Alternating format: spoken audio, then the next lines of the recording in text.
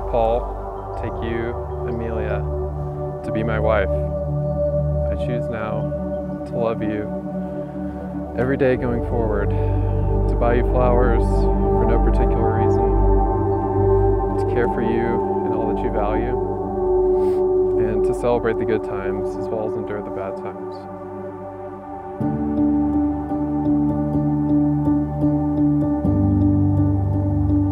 families and friends of Paul and Emilia. You are the foundation upon which these two lives have been built, and they now look to you in having their back as they make this commitment to one another here today. The Spanish name Colorado after the color red, color rojo. Red is also the color of fire and love, and so color rojo makes a great home for this wedding. I couldn't ask for a better sister-in-law. Just want to say congratulations to you guys as you enter this chapter of your life.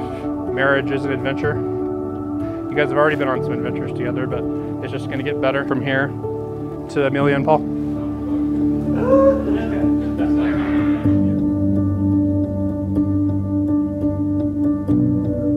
Witnessing your relationship has been such a blessing to watch. I have no doubt that Emilia will continue to choose Paul and love Paul every day for their life to come.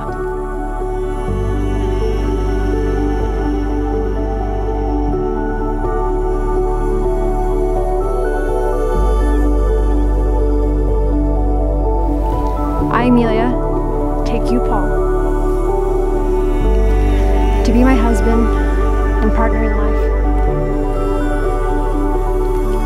I promise to never forget the journey and the values that brought us to this very moment. I vow to learn your desires, hopes, and dreams, and to do my absolute best to make those dreams a reality. Whatever may happen, wherever this path leads, I promise to love, cherish, value, and respect you as long as we both shall live. I vow to choose love above all, even when it's tough.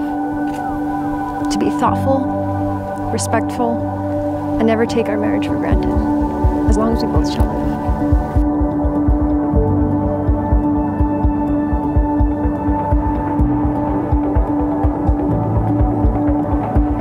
So now that you have spoken the words and performed the rites that unite your lives, I declare your marriage to be official. And it is our honor to introduce you for the first time, Mr. and Mrs. Paul and Emilia Egerton, husband and wife.